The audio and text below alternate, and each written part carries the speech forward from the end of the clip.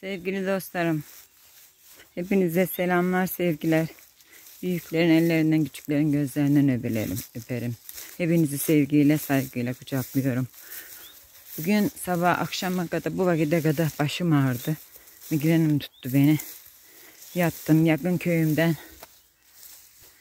Yakın köyümden bir tane benimle yaşıt bir akrabamın sayılır. Akraba sayılır. Arkadaşımız, komşumuz cenazesi vardı. Cenazeye gidemedim. Migren tuttu beni. Üzüldüm. Bir de gitseydim komalık olacaktım. Gitmedim. Şu zamana kadar yattım. Şimdi de başım ağrısı kesin diye aldım kazmayı. Sebedi. Dışarı attım kendime bahçelere bağlara. Belki böyle başımın ağrısı gece. Dereden gideceğim. Karşıya gideceğim.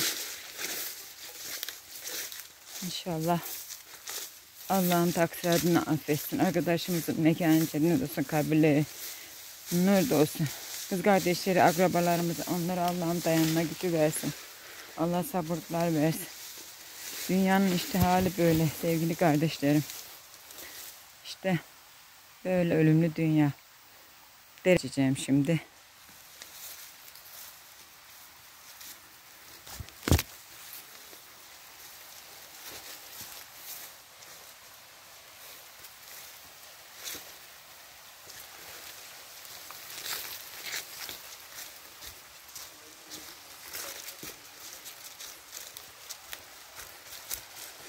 Köylerini, derelerini, ağaçlıkları, yeşillikleri, çocukluklarını yeşillikler içinde geçirenler, köylerde geçirenlere gelsin. Onlara armağan ediyorum bu derelerin güzelliklerini. İzlemenizi rica ediyorum. O kadar güzel, o kadar güzel ki. Şuraya bakar mısınız Allah aşkına? Şimdi şehirlerde sımsıcaktır havalar. Buralar çok güzel, huzur dolu. İnşallah Allah'ım hepinizin köyü olsun da herkes köyüne gidebilsin. Köye gitmek de şimdi çok zor. Maddi açıdan çok zorluklar oldu artık köye gitmek için.